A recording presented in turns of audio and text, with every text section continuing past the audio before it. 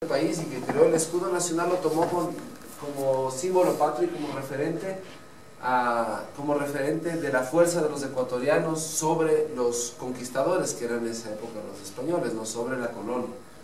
Ah, y lo mismo hicieron muchos otros países a lo largo de, América Latina, ¿no? en Colombia, en Perú, en Bolivia, ah, tiene de una u otra forma una gran importancia. Y ahora hay varios mitos por los que la gente ah, mata a los cóndores. Primero hay gente que considera o pensaba que atrae la muerte, ¿no? Todavía en la zona sur del país tenemos un poco eso. Gente que piensa que con ver un cóndor, ahí tal vez alguien va a morir en la familia, entonces se lo debe matar. Hay una mitología alrededor de los ataques al ganado. ¿no? Ellos sí atacan al ganado, pero siempre lo hemos negado. Las organizaciones de conservación, los biólogos, las autoridades lo hemos negado. Ah, y eso ha generado una mitología atrás de eso. ¿no? La gente entonces piensa que eso que dicen que viene el cóndor y se lleva una presa, eso sí es imposible, pero sí matan a, terneros, se está estudiando, estamos tratando de ver por qué, cada cuánto y cuáles, cuáles son las razones para poder llegar a, la forma de resolver este conflicto con el ser humano.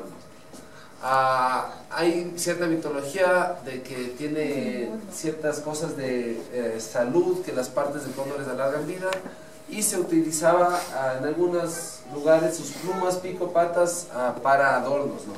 Anteriormente se, se hacían ah, rondadores y otros instrumentos utilizando plumas de cóndores en el país. entonces, bueno, eh, el cóndor, como saben, es muy... Estas son las razones por las cuales después creamos el proyecto de, investigación y monitoreo del cóndor andino en Ecuador. Entonces, eso lo que queremos hacer a través del proyecto es conocer la situación actual de la especie y saber qué se debe hacer para conservarla. Y a través de eso, eh, después tomar acción también con autoridades locales, con autoridades nacionales, la sociedad civil, ah, para seguir adelante. Ah, es un trabajo conjunto entre estas organizaciones de aquí del país y para poder llegar a ese objetivo tenemos varios componentes del proyecto. La captura y marcación con rastreadores satelitales, la biología y reproducción, monitoreo poblacional y causas de mortalidad, salud y genética. Ahora les voy a ir contando un poco de cada uno de estos ah, componentes. Entonces, la captura con rastreadores satelitales eh, es algo que resultó ser extremadamente difícil aquí en el país. Pasamos dos años intentando capturar cóndores hasta, hasta tener metodología que, que funcionó. Tenemos una población súper baja y cada individuo que se ha logrado capturar ha, sido extremadamente difícil y ha sido un éxito increíble. Ah, hasta ahora hemos ya capturado o rescatado a 12 individuos de cóndor. Ah, se ha marcado 9 de ellos con rastreador satelital y el resto solo con bandas alares, ah, que igual nos permiten reconocerlos y verles, después de muchos años, ver su supervivencia y tener reavistamientos. Hasta el momento tenemos eh, más de 350 reavistamientos visuales simplemente de estos cóndores y más de 7000 puntos de los rastreadores satelitales de lugares donde han estado. Entonces eh, nos ha llevado a tener eh, en el país exponencialmente más información de lo que había y de lo que hay en cualquier otro país en Sudamérica. Ah, debido a que también es bien pequeño el Ecuador, entonces nos facilita mucho poder cubrir todo el país. Y estos son, por ejemplo, los datos que nos dio los nueve meses del Cóndor Felipe, que estuvo marcado ah, con rastreador satelital. Lamentablemente, después de esos nueve meses, ah, fue disparado ah, por una persona sin escrúpulos y encontramos su cuerpo en, en, un lugar. Se levantó una denuncia en la fiscalía, pero lamentablemente no, no se llegó a encontrar el culpable. Pero ahí es justamente cuando dejó de moverse en ese lugar. Pero esta información ah, nos ha llevado de... Anteriormente se, había unos 32 dormideros conocidos en todo el país. Ahora tenemos una base de datos de todos estos dormideros donde se han parado uh, y han pasado una noche uno de nuestros cóndores. ¿Qué será? Más de unos 500 lugares diferentes. Por ejemplo, aquí tenemos la zona de poco central alrededor de Quito, Pichincha, esta es la zona de mayor concentración de cóndores en todo el país y de mayor concentración de nidos de igual forma. ¿no? ya les voy a hablar un poquito más de biología reproductiva después. Entonces esto no es solo para verles a los cóndores desde la computadora, verles desde, desde Quito, desde la casa, sino que lo que después nos lleva es, es esto, a recorrer todo el país. Este es solo el esfuerzo de campo que ha realizado a nuestro equipo, uno de nuestros equipos de campo, liderado por Fabricio Narváez, en el último año y medio en el país. Entonces, eh, tenemos desde la frontera sur, aquí en el Parque Nacional de Acuri, hasta igual adentro de Colombia, eh, que vamos recorriendo. Entonces, ah, cuando tenemos ya estos datos, vamos haciendo, este es un ejemplo de, una salida de campo que realizamos monitoreo después con, con la ayuda de drones también. Ah, ah, entonces les vamos siguiendo los cóndores y, en conjunto con personal del Ministerio de Ambiente, comunidades locales o biomonitores locales, recorremos y vamos a los sitios donde han estado los cóndores. Ah, entonces, en lugares que se puede, nos lleva a tener, tenemos ahora con la tecnología, uso aparte de los rastreadores, podemos ver lo que vería un cóndor en la zona.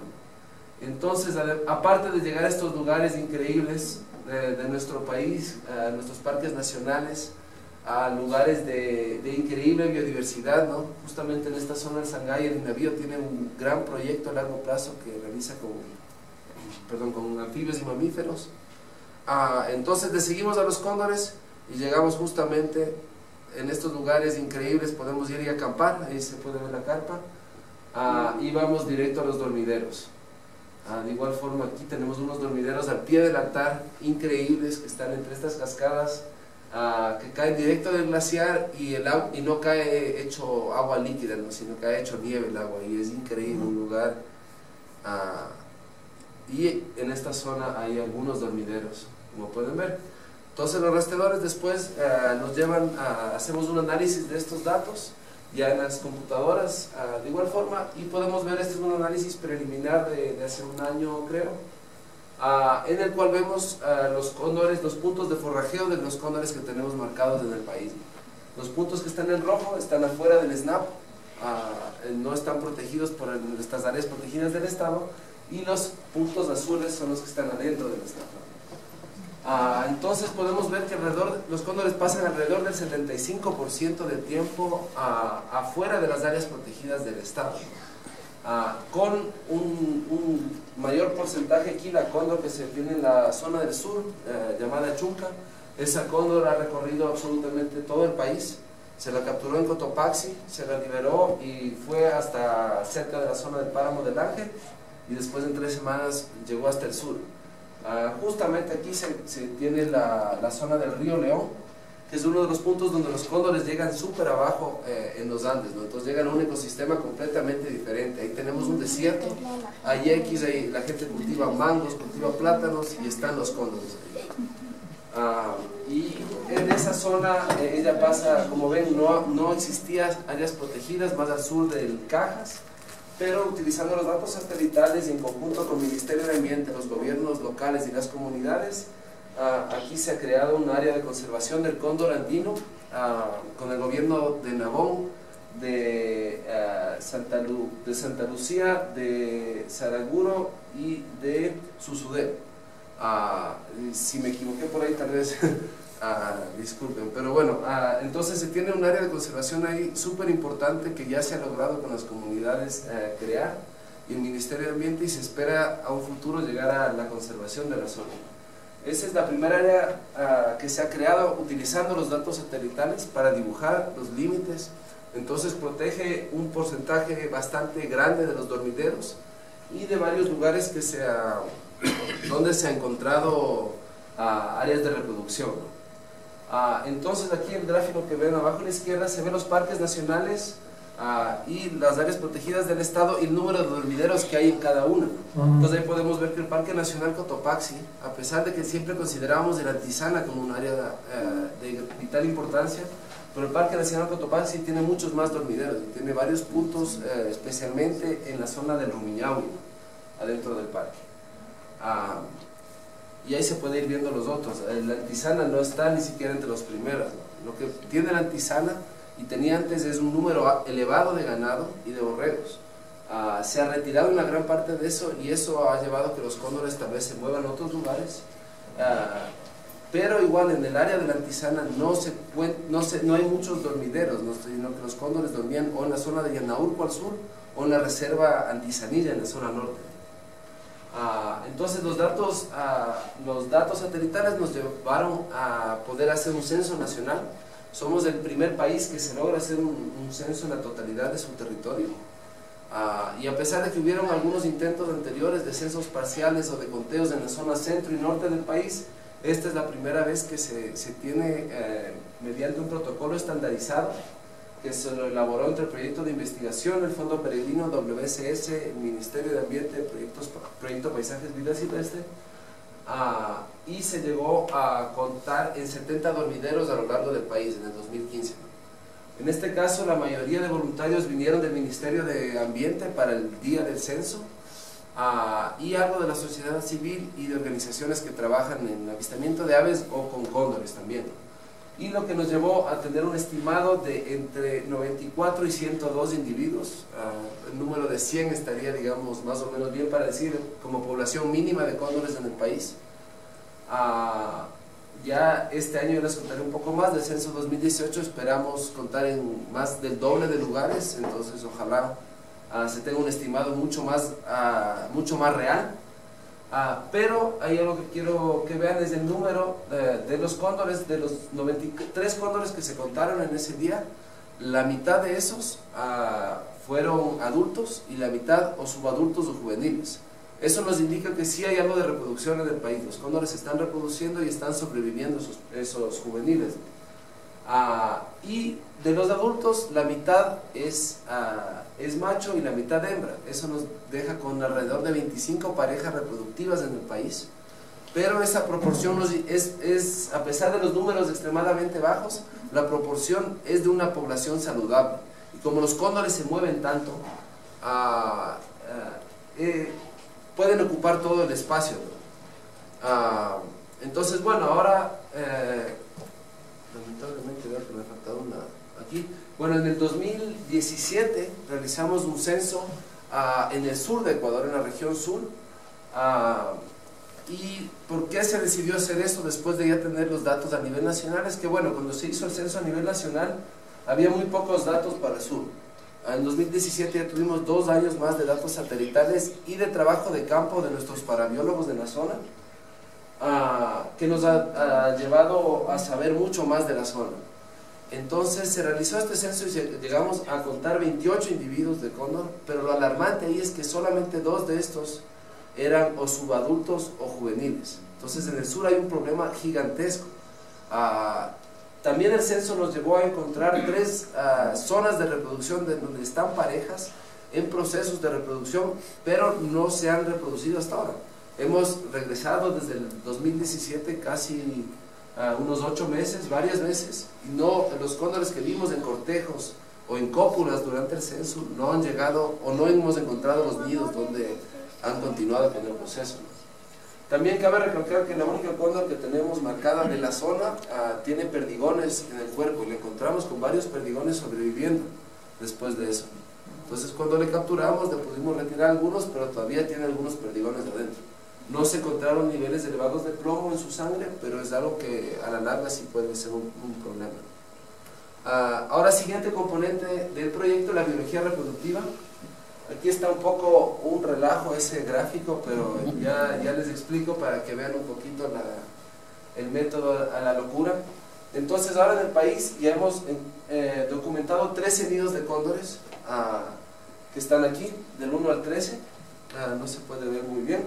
Ah, y lo que estamos viendo aquí, los gráficos que están con estos colores, es eh, durante los últimos dos años simplemente la actividad de esos nidos. Ah, anteriormente en el proyecto ah, nuestro se conocían solamente dos nidos reportados en el país, de los cuales uno eh, reportado por Friedman Koster en un, eh, en, un, trabajo con el INEFAN en Papayacta en el año 97, si no me equivoco. ¿Sí, Tú estuviste, tuviste parte de algo de del tema justo, ah, lamentablemente fue abandonado por los cóndores porque, porque se creó se, hizo, un túnel para traer agua para Quito, justo al pie del peñón. Ah, y regresamos activamente a ese nido que es justamente el que está aquí en Jamanco, y constantemente se encuentra inactivo. Los cóndores no lo están utilizando y lo abandonaron desde esa época. Lamentablemente de los 13 nidos ese es el único que se encuentra dentro del SNAP también. Entonces al igual que los dormideros y los puntos de forrajeo, los nidos, ah, la gran mayoría están afuera del Sistema Nacional de Áreas Protegidas. Ah, entonces, ah, entre estos nidos, los 15 nidos, cabe recalcar tres de una pareja en el Peñón de Lisco, aquí en la Reserva Biológica Antisemida de la Fundación Cocotoco. Esa pareja es la estrella de todos los cóndores a nivel internacional. Es la única pareja que hemos podido documentar ah, que han tenido, ah, este año ya es el sexto pichón en seis años. Ah, los primeros cinco salieron exitosamente, de ahí al comienzo de este año pusieron un huevo que fue el primero que no fue fértil pero después de 30 días lo abandonaron y pusieron un segundo huevo y está el pichón ahí ahorita, el que quiera puede ir a visitarlo.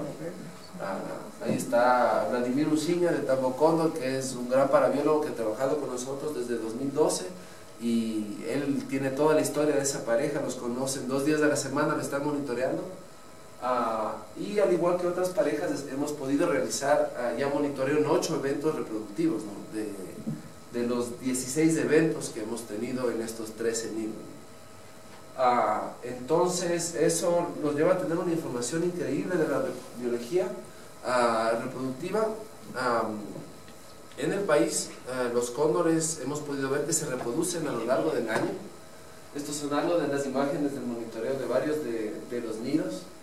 Ah, nuestros parabiólogos están ah, en los nidos que hemos podido monitorear, están ahí dos días a la semana, de 6 de la mañana a 6 de la noche, o cuando ya no se pueda ver adentro del nido, y están monitoreando y viendo absolutamente todo lo que ocurre, todo lo que hace el pichón, todo lo que hace los padres cada vez que llegan, le dan de comer, eh, etc. Eh, nos ha llevado a tener estos videos hermosos, la mayoría de estos eventos han sido exitosos, con este aquí siendo el único caso que estaba ahí presente, de, un pichón que lamentablemente se cayó del nido. Ah, estos, esto es ah, un video de cautiverio en el zoológico de Guayabama, lamentablemente en estado silvestre no podemos tener esa calidad, ah, pero nos ayuda a ver mucho de la biología. los, los cóndores, tanto los machos como las hembras, se turnan y pasan hasta mayor tiempo a los machos haciendo el cuidado del huevo y también el cuidado del pichón. Ah, esos datos que hemos visto son preliminares por nuestro lado, pero ya ha habido publicaciones en cóndores en Argentina, en cautiverio y en estado silvestre y también en Colombia que, que indica algo muy similar, que se turnan bastante. Entonces, esto nos da información extremadamente importante que en otros países no está disponible con una excepción de, en Argentina que lamentablemente no se ha publicado, pero existe un investigador, Lorenzo Simpson, que en la zona de Bariloche ha encontrado, además de un dormidero importante que llegan 100, 200 cóndores a dormir ahí, a más de 50 nidos en la zona alrededor. Aquí en el país siempre hemos evitado entrar a los nidos por la población súper reducida de los cóndores y viendo el dolor de cada pichón y teniendo miedo que algo pase. Pero ahí eh, han entrado a, estos nidos, eh, hasta los adultos ni siquiera se van volando el rato que llega el investigador y lograron encontrar un nido eh, que ha sido ocupado por cóndores por 3.500 años. O sea, los cóndores están en ese mismo lugar, se logró encontrar una muestra muy grande de heces y con carbono 14 pudieron ver que están tanto tiempo ahí los cóndores. Entonces es un paso siguiente que, que sí puede resultarse muy importante aquí en el país, como ven aquí, todos los nidos están limpios, los cóndores lo mantienen muy limpio y no hemos visto un nido como, ese en Argentina que tenía una capa así de las heces y pudieron ver esa información. Ah, bueno, otra de las, de las cosas que esa pareja de, de cóndores en el Isco ha hecho, que pudimos ver, además de tener ya el sexto pichón, la pichona número 5, después de salir del nido, bueno, la pudimos capturar y marcar Ah, y se fue de la zona. Lamentablemente su rastreador de GSM con la telefonía celular no funcionó, ah, pero le hemos podido ver gracias a las bandas alares y ella regresó al año siguiente los cóndores le alimentaban a ella mientras alimentaban a su pichón de ese año. Entonces estaban cuidando a estas dos al mismo tiempo, que es algo increíble. justamente parte, el siguiente componente del monitoreo poblacional, que también gran parte ha sido hecho aquí en, la Reserva Biológica de Tizanilla, a pesar de que sí hacemos mucho a nivel nacional, pero debido a la importancia de los peñones de aquí y, a la cercanía y a la facilidad, a la facilidad en temas logísticos, se ha hecho mucho ahí. Aquí pueden ver en esta imagen, ahí está Quito al fondo. Entonces, nuevamente es súper importante recalcar que los cóndores, la zona de mayor concentración está aquí en Quito. Quito es la tierra de cóndores y tenemos que empoderarnos de eso. No es solo la, la zona de la Antizana, sino todos los páramos orientales a la zona de conservación del Cerro Puntas, que muy pocos conocemos. Es muy importante también para los cóndores.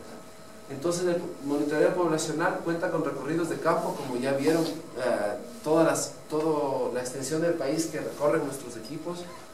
Ah, y tenemos un equipo ah, constantemente en el sur, en la zona sur, en la cuenca del río León, ah, y dos equipos móviles que estamos basados aquí en Quito, pero recorremos el resto del país. Y de ahí nuestros equipos de parabiólogos también, uno basado en el Peñón de Lisco y aquí también tenemos a José que nos ha apoyado algunas veces en, en varios trabajos con el cóndor y el águila que hablaré más. Entonces, eh, también hemos hecho monitoreo sistemático en nuestros videos del Lisco y del cóndor aquí de Antizanilla y también cámaras trampa en Carroña en Antizanilla, en Ilitío en Cotopaxi, en el río León Azuay-Loja y en otros lugares.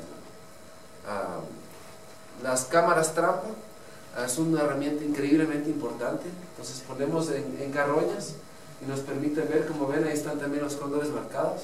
Nos permiten ver supervivencia de los cóndores. A veces ya dejan de funcionar los rastreadores. Estos rastreadores tienen una vida útil de unos dos años, pero aquí en el país nos han durado hasta tres o cuatro años. Ah, el sol aquí ha sido muy, muy bueno, muy potente. Ah, entonces nos ayudan a ver la composición ah, de los cóndores, nos ayudan a ver cuántos machos hay, cuántas hembras hay.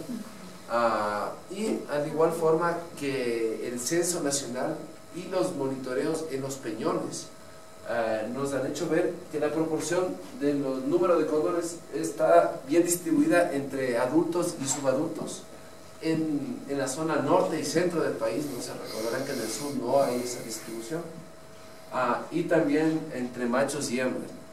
Sería un problema muy grande si tuviéramos, por ejemplo, más machos, los machos son dominantes, el rato de alimentarse. Ah, y si es que hubiera muchos machos, las hembras no tendrían chance de alimentarse, no estarían tan fuertes y habría problemas del rato de, la reproducción. Mm, algo otro muy importante de las cámaras trampa nos ha permitido ver la composición eh, y el porcentaje de tiempo de varios grupos de carroñeros en las carroñas que hemos colocado ah, principalmente en Antizanilla, pero también en, eh, en el río León y en otros lugares a nivel nacional. Ah, como ven, lo preocupante es la cifra del 40% del tiempo eh, en color rojo son los perros. Tenemos una problemática muy grande con perros tanto ferales como domésticos mal cuidados. Ah, y el rato que están ahí los perros no llega ninguna otra, otra especie. Pero bueno, también podemos ver los lobos de páramo, curitingues, eh, cóndor y en pocas ocasiones han llegado a nuestras carroñas osos a pesar de que sí hay bastantes osos en la zona de Antizanilla, han llegado muy pocas veces, entonces, sabiendo que podría ser una problemática, todavía no se ha presentado y, se está teniendo cuidado en el manejo de las carroñas. pero como pueden ver aquí, esta es una carroña que encontramos siguiéndole al cóndor polito, esta es en la zona de, de la Cotacachi, Cayapas, al norte de la provincia de Imagura como pueden ver la fecha y la hora, en el mismo día, unas pocas horas más tarde, después de que él estuvo ahí, llegó una manada de perros.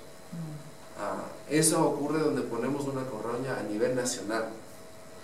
Aquí pueden ver un poco ya de más ah, estadísticamente lo que se pudo ver ah, en Antizanilla, que sí se pudo hacer más sistemática la, colocación de cámaras trampa y carroñas es que los cóndores tal vez el primer día no llegan, aquí son las líneas verdes, son los cóndores, pero el segundo día ya llegan, pero los perros desde el primer día llegan a la cabaña y hay veces que los perros llegan y se quedan ahí, se quedan una semana viviendo una manada de perros.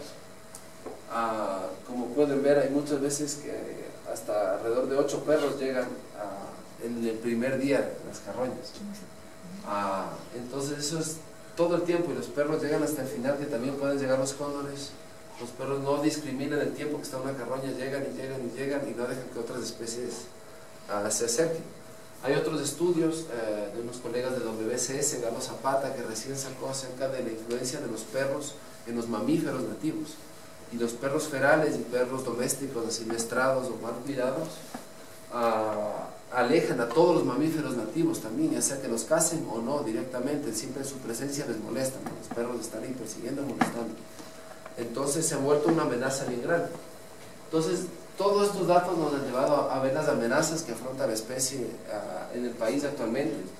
Ah, la mayor amenaza es la pérdida de hábitat, como gran parte de las otras especies en el país, el avance de la frontera agrícola, pero en mayor cantidad es la minería a gran escala, Ah, lamentablemente hay concesiones de muchos páramos en el país, muchos bosques nublados y eso pone la supervivencia del cóndor y muchas otras especies en peligro.